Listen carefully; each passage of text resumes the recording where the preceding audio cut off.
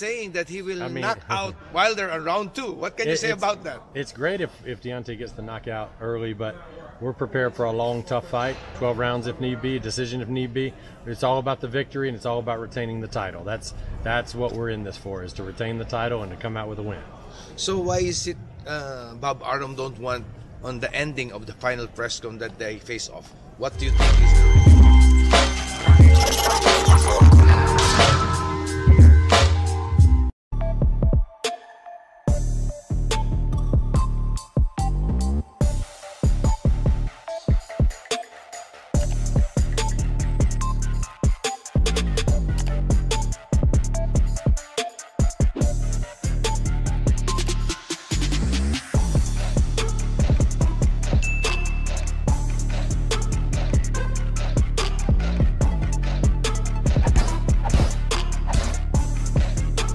Jay Deas, how are you? Good, good. How's it going? So uh, this is for the radio station in the Philippines, Okay. 102.7 Star FM and Bombo Radio.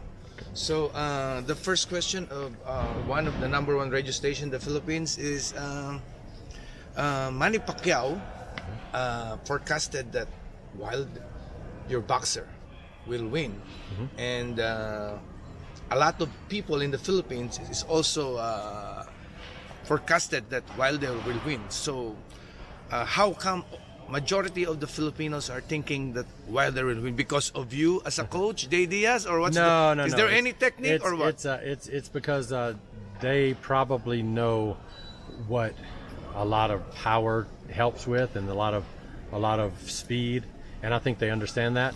And probably having seen Manny fight, they know what explosive power can do, and so they'll probably see Deontay as a much bigger version of Manny.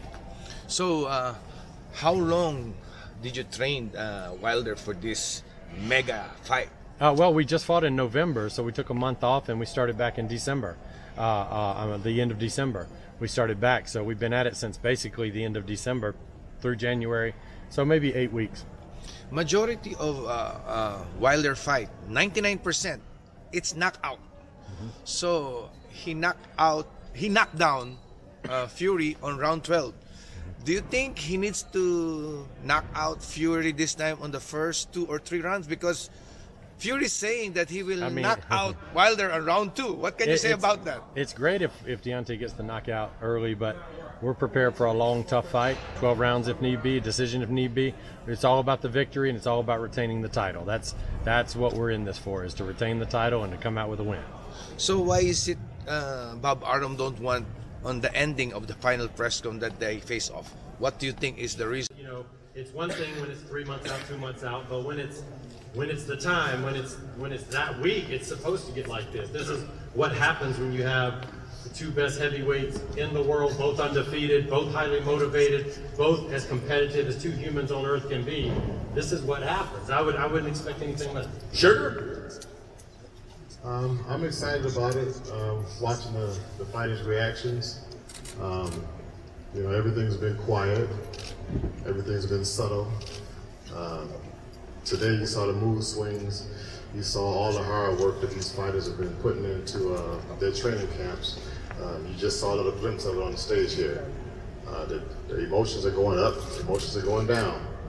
Uh, emotions are going up. They're going back down. Um, this is what uh, big time boxing is. Uh, these two guys are professional, but they still have their emotions. They still have their, um, you know, their, their the chip on their shoulder. They both want that win. Um, both of these fighters are just, uh, you know, expressing themselves like they should. Sugar, you're one of the biggest variables in this entire lead up to this fight because the news of Ben Davison being out, still a great relationship. It has been proven that your former trainer with you, but Melo. That's what I follow. Buster Sports, Jay Melo. Thank you very much, Bob. Don't forget to like, comment, and subscribe to this channel.